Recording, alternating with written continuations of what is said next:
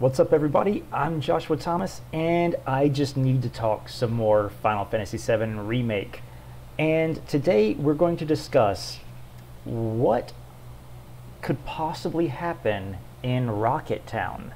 But before we get to that, I- am going to show some of this beautiful background footage of uh, the remake, uh, and there, there's going to be spoilers for the remake, possibly remake part two or part three and FF7, the original game. Uh, this is all going to take place in Rocket Town. I'm going to show you some original footage from there. But we need to talk real quick about the state of the Final Fantasy VII community.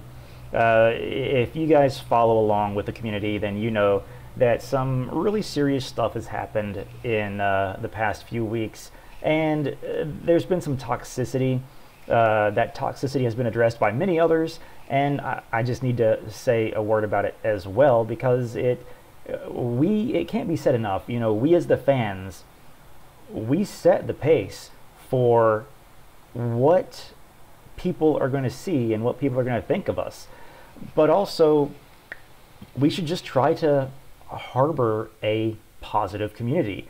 And if we want to have discussions or disagree with someone, it's absolutely possible to do that in a constructive way, you know, in a respectful way. We can disagree and, and still be friends at the end of the day. So when you are posting or you're thinking about posting something, when you see a video with someone who disagrees with you, like maybe I'm going to say, hey, you know, they were thinking about giving Tifa a breast reduction for the remake. I don't, I don't honestly care if they would have. It, it wouldn't have changed the story. It wouldn't have changed her character. It wouldn't have changed her personality. And many people out there disagree with that. And that's okay. Because in the end, they remained the same. She didn't get a breast reduction, and it's, it's fine. So when people are out out there harassing especially creators of the game, you, you just got to take a step back and just say, hey, look, let's let's let's keep the conversation constructive, and that's that's all I'm going to say about that. Many many of the um, YouTube content creators have made entire videos based on that solely, but let's get into Rocket Town. So what I'm going to discuss here is I'm going to show you uh, the sequence of events that happens in Rocket Town, and we're just going to go over them and say, how are they going to do this in the remake, part two or or part three? So so here's my theory: if if the remake is going to be three games long, we are going to see Rocket Town in the next part, part two. If the remake is going to be four games total, I don't think we will see Rocket Town in the next part. I think Rocket Town will be the beginning of part three, if that is the case, uh, which would honestly make for a pretty eventful opening to part three. Uh, but nevertheless, let's get into that. And once again, spoiler alert for everything that happens in Rocket Town. Um, and yeah, so let's just go from there. Let me make sure. Let me make sure this works. There we go. All right, so we've got here in the beginning, uh, not so much to worry about this. This is where we're talking to Shera and Palmer, and we go outside and we see that Rufus is, well, Cid is confronting Rufus about everything that he's taken away from him. Uh, this I could absolutely see being in the remake, although we may even get some tidbits in Remake Part 2 earlier on, maybe in Junon. Uh, maybe we'll see Cid in Junon and he's trying to confront Rufus there. But nevertheless, I think this part could go much the same. And uh, if you've got your own theories about how the events in Rocket Town are going to go, absolutely leave a comment in uh, in the comments section. I want to hear what you guys have to say about this segment of the game. So Shera pulls us in the house and is like, "Hey, uh, is trying to take uh, take the tiny Bronco, which is this one-seater plane right here. It, it's it's kind of silly to think that Rufus wanted to take that and and go chase down Sephiroth in the first place, but that was just the way the games were back then. And so then, okay, here's my first question: Do you think we're going to fight Palmer like this? Like it's just going to be Palmer with a Mako gun? It's it's very it's a very comical and easy fight. This is more just just a comic relief boss fight. So I'm going to skip to, where's the end? Yeah, you can see he's using his Mako gun. Let's see. We're going to get to, you can see the tiny Bronco in the background. Keep in mind, this was in 1997. These are state-of-the-art graphics for 1997. All right, is this what does him in? Yep, I think so. So here we go. He's about to uh, run away. The tiny Bronco is starting to uh, take off without everybody. And I, I honestly can't believe they added this part to the original game. I, I actually want to see that in the remake. I just want to see him try to run away and get hit by a truck if we are actually going to fight him. So after the battle, uh, it's going to cut back to the main party. I got Hammer Blow. All right. And the Eden Coat. So once again, the limitations of the game, we're back to a JPEG here, but then it's going to cut uh, because they can't stop it. Everybody has to jump on, then it cuts to the uh, cinematic cutscene, but it still has the, the, the tiny chibi characters on it. And this is the part. Right here, we've got three people jumping on the tiny Bronco, but in in the remake, at this point, we're going to have eight characters, and then right here, we're, we're about to pick up Cid as our ninth character. So here's my question to you guys. How is this sequence going to go down? Because uh, the creators have been, uh, you know, quoted as saying they don't want to get rid of all those beloved moments from the original game. The the game is going to follow the same course and have many of our favorite events in it. Uh, I have no doubt that this is the favorite event of many people right here.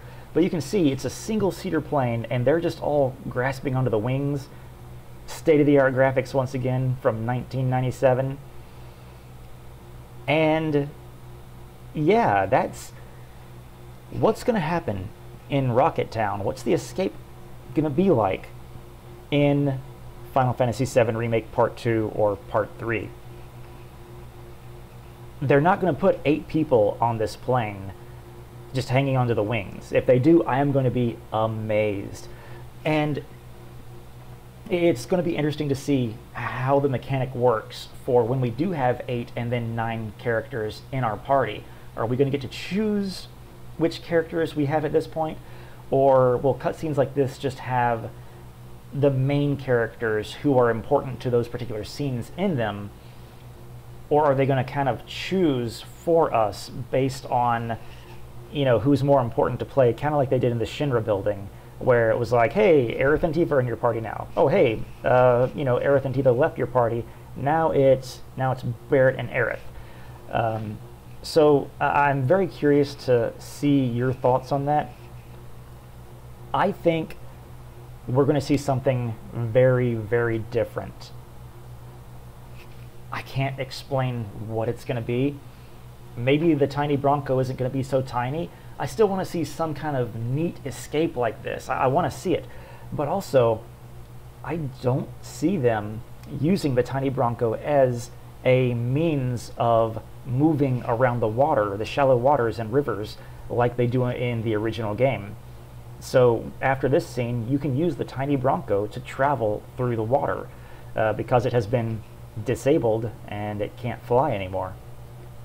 So I'm not sure if I show it moving here. But yeah, so this is this is what happens in the original game. Do you think we're going to have some mode of transportation at this point, or do you think they're going to take us straight to Wutai after this? Th there's so many possibilities, especially with the mystery of how far Part 2 is going to go. If if this is the beginning of part three, uh, I can definitely see them going to Wutai after this.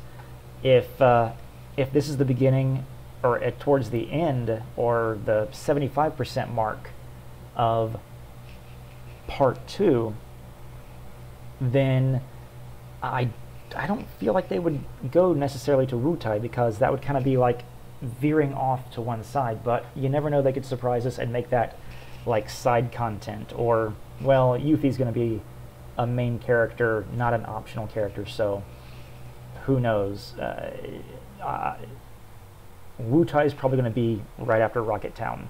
I am guessing that.